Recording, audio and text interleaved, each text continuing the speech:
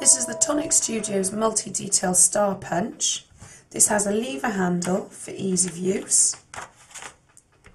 Just use your palm to push down and it creates really detailed and intricate designs.